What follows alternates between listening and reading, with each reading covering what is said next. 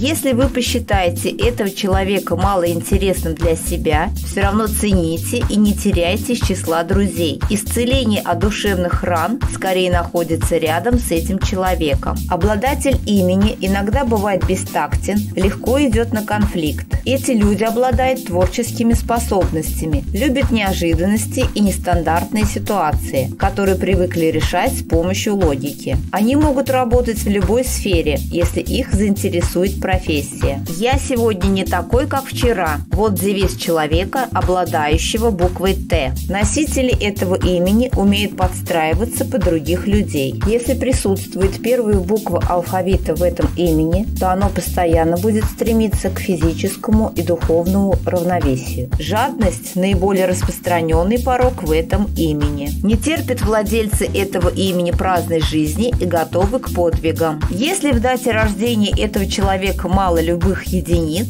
у владельца имени смещаются творческие качества. Бывает, что и очень сильно. Владельцы такого имени застенчивы и с трудом сходятся с окружением. Астрологи рекомендуют этим людям научиться бережному отношению к самим себе. Обладатели имени трудолюбивы и упорны, но в чувствах редко способны на нежность и внимание, проявляют лидерские качества и не нацелены на достижение результата. При неадекватной самооценке владелец этого имени старается убрать всех более-менее талантливых людей из своего окружения, безраздельно царить и властвовать, не считаясь другими мнениями и советами. Владельцу этого имени следует более активно прислушиваться к другим людям. Основная буква А в этом имени хорошо сочетается с другими звуками и не создает сложности в произношении. Поэтому у владельца не составит труда найти много друзей. Просто иногда им лень найти новых друзей, так как они уверены, что по первому щелчку могут собрать большую компанию.